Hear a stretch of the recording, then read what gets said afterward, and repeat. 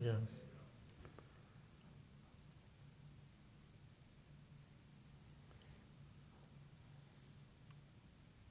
Shalom. Welcome to the Jewish View. My name is Rabbi Nachman Simon with the Chabados of Delmar, together with my co-host Mark Ronich of Statewide News Service and jbiztechvalley.com. Well, Rabbi, you know, I always like to bring in Jewish business owners into the program and, and have them as our guest. And I always like the arts also. So our favorite guest here today is Howard Glassman, who's not only a Jewish business owner, but he's also uh, uh, runs uh, a bar where a lot of people play Right. a lot of music. It's called the Low Beat. The Low Beat? And he used to run Valentine's, which was on New Scotland Avenue near Madison. Right. But he changed the name, rebranded, and he's now on uh, Quail and Central. Uh, Central, Central yeah, and right, right Quail. next to Paulie's Hotel, which Right. is right on Quail. Yeah, And so you're killing two birds with one stone today. so to speak. There you go. There But you go. the uh, and across from WAMC.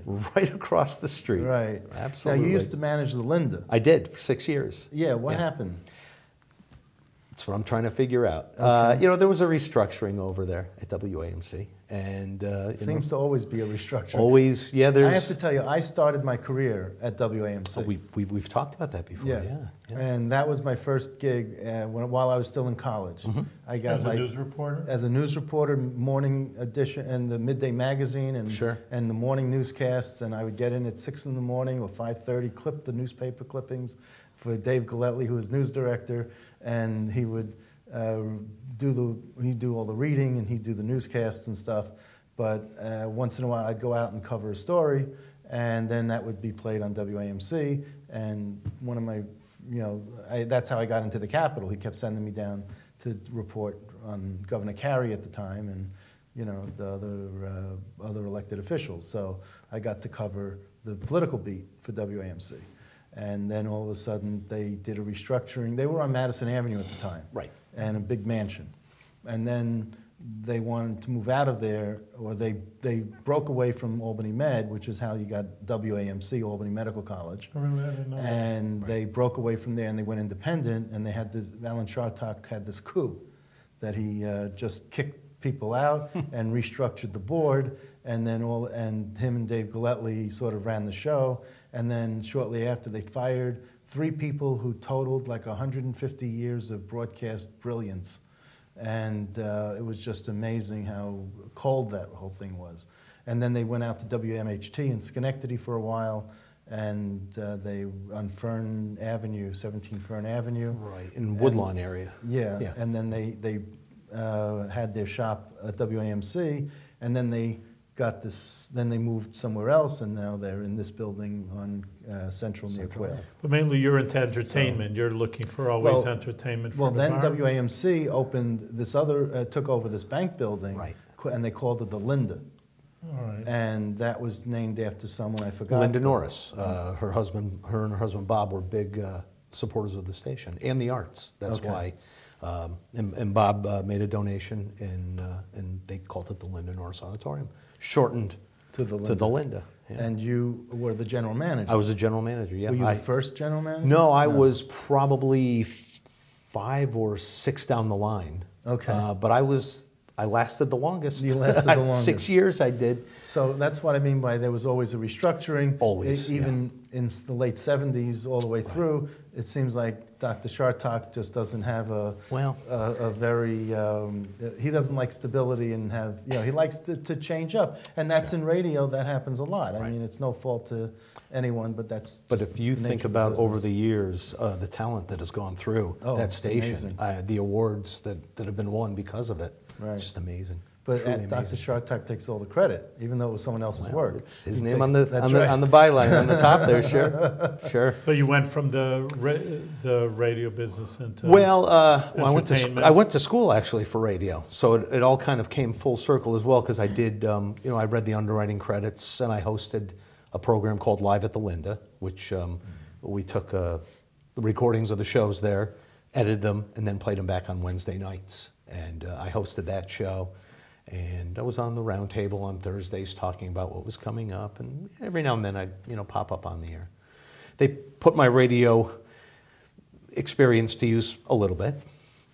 Well, you have a great voice for radio. thank you. I mean, yeah, Well, for thank you. broadcasting, I should say. Thank So you. You do. Yeah. Because I, you uh, just don't have a face for radio. You have a Definitely, face for TV definitely also. don't have. I, I was never interested in television. Okay. Uh, you know, if you want to black this out right No, now, that'd be no, fine. No, we're not. I actually, not going uh, to do that. I actually have a show uh, right now on uh, WEXT, 97.7 FM, on uh, Saturday nights. Which is a Vermont station. No, it's um, It's here? Uh, WMHT. It's part of WMHT. Oh, okay. It's uh, I thought it used to. Okay. nope. That's uh, that's where I was long. That's my first radio job. Oh, okay. Second radio job. You know what I'm talking. Okay. Yes, I do.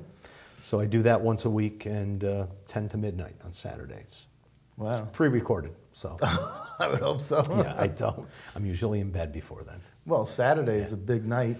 If I'm over at the bar, yes. At If I'm bar. home, I'm I'm usually Let's talk up. about the bar business where you are presently. Um, what made you go into the bar business from radio? I mean, I entertainment here, entertainment Yeah, there, yeah. so you could see a similarity. But necessity. isn't it? They always say it's a tough business. It's- That's it's- what everybody. It's well next to radio. me. It's one of the worst businesses I've ever been involved with. Yeah, yeah absolutely. Just the cutthroat business of it all.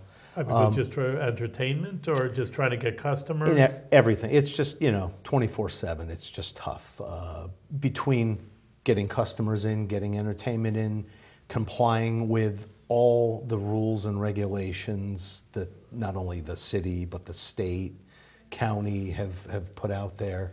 Um, Yeah, I don't know what the turnover. I'm not a businessman. I'm a rabbi, but it just seems to me that the restaurant. You see a restaurant open up. Right. Within a half a year, it's another. You could just watch like every half a year some spots, some locations. Yeah. It's that's tough. You know, you put money and renovate it, and There's a, I don't there's know a what number. the turnover you is. can go online and find out what the number is of new restaurants that fail.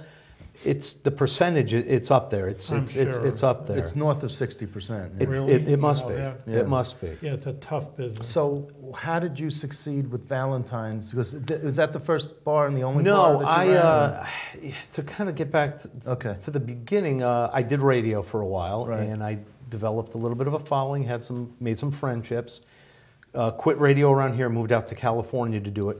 Came back and couldn't find a job. Couldn't find anything. I mean, this was back in the late '80s, early early '90s, very late '80s, early '90s, and a friend of mine from radio, uh, he was a bartender, listener, said, "Hey, I'm gonna, I'm buying Bogie's on."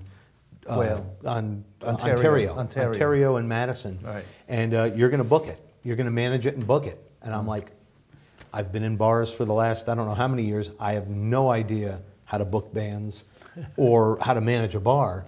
And he's like, Oh, you did radio. You know all the bands. Just get NRBQ and we'll be fine. I'm like, I can do that. Uh, so we took over Bogie's, which, you know, at the time when they bought it was kind of a down and out beyond a dive. It was it was a dirty, rundown bar, and we spent months and months in there. Just me and uh, my friend Barry, who owned it, and his partner Scott, a few others, fixed it up. And for the seven and a half years I was there, uh, booked.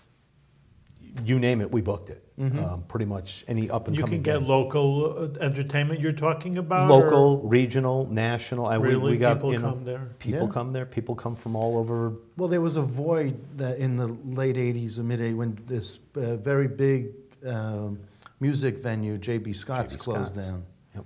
And when they they had a fire, I believe. They had a fire. As a matter of fact, JB Scott's was right across from WAMC. Yeah. Uh, uh, I believe it's now Richter's Yes, and a yes. beauty supply place of sorts. So, yeah, they had a fire. They closed down, and then there was a, a void. Then a little little places popped up. 288 Lark, the Chateau over in Rensselaer, uh, Duck Soup, Mm-hmm. or the Chateau down in Albany, Duck Soup in Rensselaer. And they all kind of closed, and then the QE2 opened up. Mm-hmm. And that was it for a while, and, and then These are the same people that just like yourself, and then they just go somewhere else, or it's just new people trying their hand, With- thinking they're going to be better than everybody Well, with else. 288, it was uh, Char Short Sleeve and her husband Dave. They went from 288, where they managed it, to um, QE2, and they opened it. And they were, I mean, I mean, Do they still own it now? th- no, uh, no, they they are long gone from there. Because that used to be a white tower. used to be a White Tower, White Tower, right? Yeah. And uh, but anybody who does live music in the area owes um, a huge debt to those two, especially But, Char. You know, like besides the business Mm. aspect of it, recently in Troy, there's another aspect. You know, a few, and I don't even know all the details, but a few guys get drunk and then there's a whole hullabaloo. So besides just trying to get entertainment, try to get people good food and drink, then you got to worry about a few schmoes, as we say in the Jewish business, That's- few schmoes, and they could almost literally ruin a guy's reputation. They, That's what they they, can. did in Troy. Yeah, well, that's why you um, you make sure your security, your your doormen, your bouncers are certified, so they know how to diffuse What's a a situation. before- certified? How do you get to certified as a Uh, door it- bouncer? it- let's see, it's about ninety dollars. I think you take a course. Yeah, And really? it- yeah, I didn't know they're that. Really. I, I'm there's some telling old you. football player over Well, here. you- That's what I always. Well, the old football player would who- just pick somebody up and throw them, and then you'd get a lawsuit. So who pays for the nine? Who pays the nine dollars? The bar owner or the individual? Uh, you know what? For uh, some of my guys, I did that, and for others that came in, they already had it. From, Okay. But you know, as when I tell them when they come in now, if they want to get the certification, I said, if you do it, go get it. You pay for it because then if you move or you go anywhere, you can work wherever you want. wherever you want. Because they just know how to handle difficult situations. That's what they're being taught. Exactly. You know, you don't you don't grab somebody in the bar. You don't hit somebody in the bar. You don't ever hit someone. You get them out of the bar, and then you call the police, or you you know you just hope they go on their way. But you don't you don't provoke them. You know, you do everything you can not to start But you have to watch someone over drinking. Hey, you know, you see that guy's got five drinks for me. You want to sell him another drink? Hey, give me another one. Hey, pal, you got enough. That's over that's the bartender too, and Yeah. you know they'll make eye contact and they'll say, "This guy, you know, Yeah, get him he's out." out of here. Um, you know, if there was a solid piece of wood, which I'm Yeah. not, you know, we we we're pretty good that way. We don't. Um, we had a reputation early on as we don't put up with that stuff. So if you want to come in and start trouble, so you're- was, was that Bogie's that? well, was no, that, that, wasn't. It was Valentine's? Valentine's. yeah, Valentine's. yeah. Because Valentine's, I, I I bought the business. Because I'll tell you that you know there was a, it's it was a reputation at least in my circles, and Mm-hmm. maybe there were other circles that said said differently. That Valentine's was a towny bar, and it was very uh, it, it didn't feel safe. really, it might have been the area, the surra- the neighborhood. I that so I, how did you now? I, I think that you're akin somewhat with the Valentine situation to Kokopelli's in Troy. Now, when you saw what happened in January at Kokopelli's, Mm-hmm. Right. did you shake your head? Did you say, "Oh, they could have done this differently"? What, what was your reaction to the reaction was what really happened. I don't know if anybody knows what really happened. Um, you know, the owners and the patrons blame it on the police. The police blame it on the owners. The patrons blame it on you know. Uh, Everybody's blaming every- everybody's blaming, and, and there was videotape, but I don't think there was audio to it. So um, we, we never had that kind of situation for, for live music there. Um, and, and you don't serve food. At Valentine's, we didn't. We have the um, the pizzeria was next door. There was always a pizzeria, so Right. we had a menu if you want something. Um, but at the at the Low Beat, we have a kitchen. We we serve food. Okay. Yep. Now, is that helpful in terms of because food absorbs the alcohol? Well, we only do lunch right now. Uh, we're we're trying to build up the lunch business so we can open at night. Um, you know, I don't know if if the food absorbs the alcohol. I mean, if you have, you know, if somebody has ten beers and you know And a ten pizza. and a pizza. Is it going to be helpful? I, you know, it's like the old wives' your tale of black coffee. You drink black coffee, you sober up. That doesn't work. Okay. Your patronage, because you're in Central Avenue, is mainly college students? No, um, you know, everybody thinks that. You know, wait Yeah. till the college kids come back. Well, you know, most of the college kids are 18, 19, Yeah, 20. Um, for our shows, we do 18 and up, and we're pretty strict with the with the um, notifications on the, the fingers on the hands. Um, but they're under most of our, 21. right, but it, I've noticed, and this is going back to the Bogie's days. It started there. The college kids aren't really into the live music that we present. So what's the different kind of music you're saying? They're more into what? dance music, where there's a DJ up on stage playing the dance, at least around in this area. There's a small group of college students from RPI, SUNY, St. Rose, Union, um, that'll go out and see live music. But for the most part, it, you put a DJ up there with a laptop, you'll do thousands of kids. And, you know, if I, I did a show this past Sunday night, which was co-sponsored by WCDB, we had 23 paid, 23 people paid to see this show, which isn't good. No, Yeah. no. So um, What's your capacity once you're saying that? 75, 75 to 100. Yep. On any given night, or it's mainly your, hopefully Friday night during services, the Jewish kids. Eh. But, uh, but in any case, Right. Friday night, Saturday night Right. is your big nights, I mean. Depends on the band. Really? we, You we've can had get into we, we've had shows on Sundays, Mondays, Tuesdays, where depending on who the artist is, we get 75, 100 people. out. Mm-hmm. Really? That's yeah. very good. Yeah. And So- there's an entrance fee. You know, I'm sorry, I'm Yeah, a little no, no, naive. I don't go to It's- bars. right. uh, Cover- know. cover It, it's yeah, well, it's it's a cover charge uh, or a ticket fee, depending on who the act is. Like we sell pre-sale tickets for national acts. Because they're going to really attract. We hope. We hope. Um, so yeah, Is there a website? What's the low beat? the, it's thelowbeat.com. Okay. Yep. Simple, straight to the point. We have a Facebook page as well. Once you come in, you don't have to drink or have to. No, there's demand- nobody. I mean, you know, there's. We hope if you're coming in with a group, we hope that there's a designated driver. I mean, short term, there are bars that you know last this long because they they, they try to pry you with the alcohol, sell, sell, sell, and once you get out the door, they don't care, but they should. Uh, I've been doing this for now 20 something years. There's a long term, you know, for your peace of mind. Yeah, right. You know, um, whereas the doormen are taught to, you know, know who should come in and who shouldn't. The bartenders as well know when to cut somebody off. You know, they have to know when to cut somebody off. You can't just keep serving them. You know, if they've had enough. What advice would you have for a bar like Kokopelli's or for what's going on in Fourth Street in Troy? That what would advice would you have to for them? I mean, just as a success, as someone who's done this successfully. You know, I, I guess it would all be know your crowd or what you want to attract. I don't know what kind of crowd they were attracting, but I know there's problems down in that area. So I don't know if it's a, a rave crowd, if it's a heavy metal crowd, if it's a, it might not even be a music crowd. It could just be. well, just there's be. the Ruck, which is uh, RPI students, Okay. because the owner is the rugby coach Oh, at RPI. okay, all right. And then you have the other, uh, another bar that gets really, I'll say, an all-white crowd. Which one is this? Um, the, there's another uh, bar that's My experience second. in, uh, in in second. Broadway. My experience in Troy is the Ale House, Right. which is where I go. Um, So- sometimes and then Kokopelli's, and up until January, was attracting a black crowd. Okay. Yeah, I you know I. I And then re- there was October of 2013, there was a U Albany homecoming party at a bar two blocks down in Troy. in Troy. Hmm. And they came and they maxed out that bar. So these 400 students or whatever came down the block to Cocapelli's. They allowed 80 of them in. So you still had 300 students out on the street and they got raucous, but it wasn't, it was in front of Kokopelli's. But again, Kokopelli's got the blame It's yeah. because it was.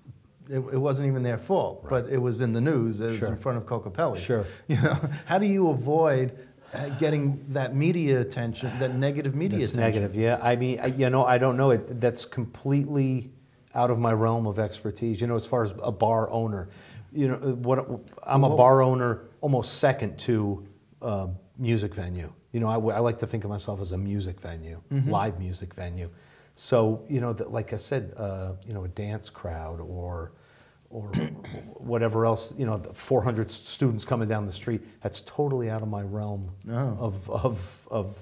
I'm going to say expertise, just knowledge. So, what's your uh, connection with Paulie's Hotel? Do you have a connection? Paulie's, uh, my cousin who owns the Comedy Works went to high school with John, the owner of uh, Paulie's, and introduced me years and years ago to him. You know, we always kept in contact. We're friendly. Said hello. And when Albany Med was coming down to uh, coming down, and the word was coming down, I started looking for venues. And John's like, "You got to come up here. You got to come up here. There's buy a building, whatever." And just so happens, you know, Cagney's had been closed for at the time almost five years. So we, we looked at it, and uh, you know, John's like, "You'd be great. We'll work together." And you know, he was shut down years ago John. for for underage over there, and he went down, uh, made his made his peace and everything, and it rare in New York State for you to get a second chance, and he's received a second chance, and it's strictly 21 and up there now.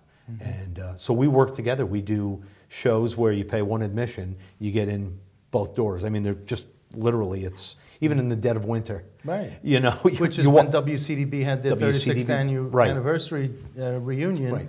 and that's what we did. We Yeah. went, you know. It, and it worked out fine, um, you know.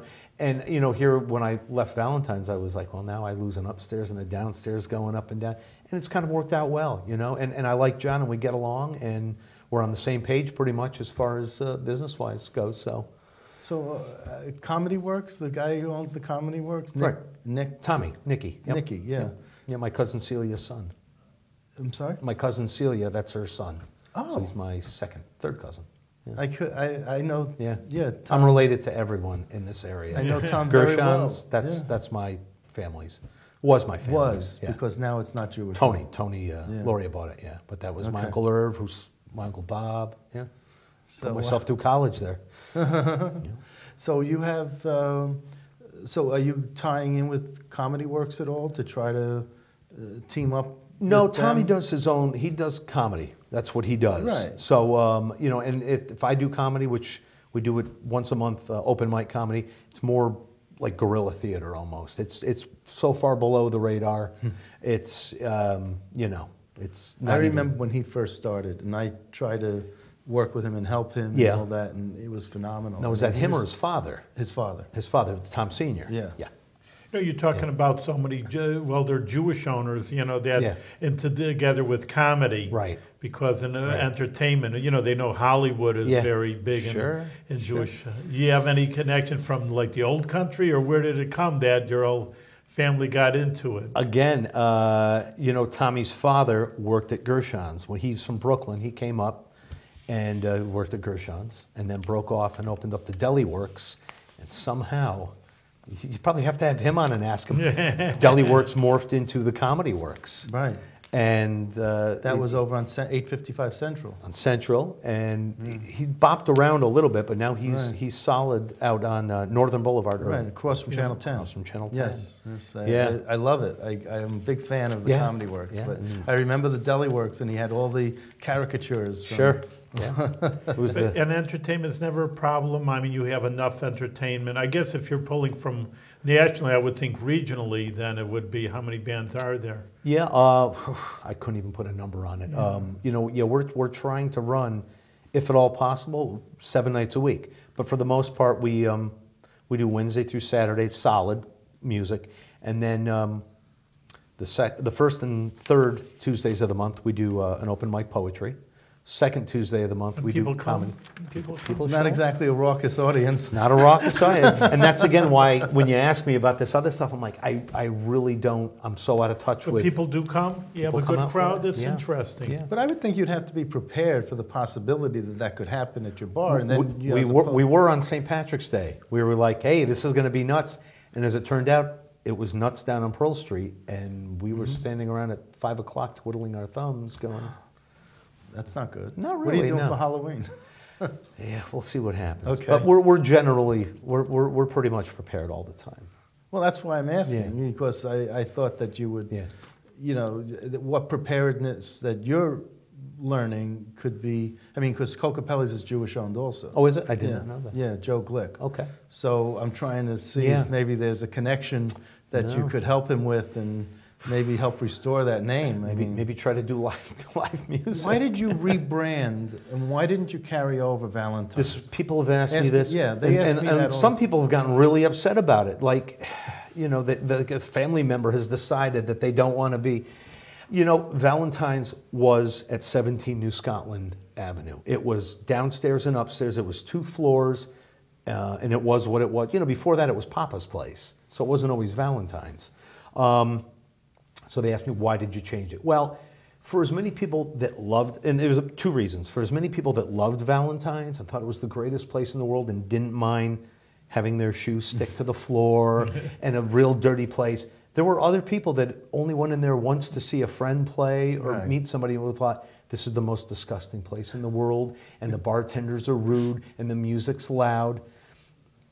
Okay, you know, I, I'd like to be everything to everyone. It, I, you know, that's that's my my goal. Uh, well, I wasn't far off with what I told you was the impression. That right, I right. But you know, but we all knew better. You know, and you know, you, you don't stay open for 16, 17 years without Having some redeeming right. qualities, So that yes. was one reason why we wanted to, you know, change the name. Although I met some resistance from the staff in, internally, and the other one was, when agents call now from California, Chicago, whatever, to, to book their band at Valentine's, yeah, we want to put it in the big room. We're thinking we're going to get 300 people. I don't have that room anymore. Mm-hmm. So now it's having to go through it every day with a booking agent or two or three or four or a band that books Right. themselves. It's like, you know what? It's so much easier if we do this. It's a new start. You know what? It's a new building, it's a new room.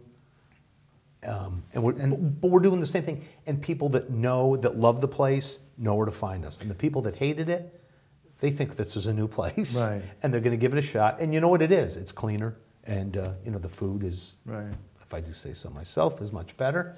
and uh, the sound system is great, and it's it's an intimate place, and it's our clubhouse. It's Right. basically the music lover of the Capital District. It's our it's our clubhouse. It's our new hangout.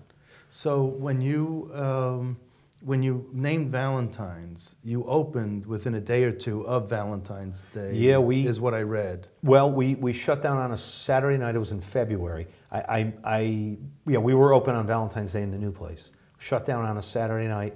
Cleaned everything out on Sunday.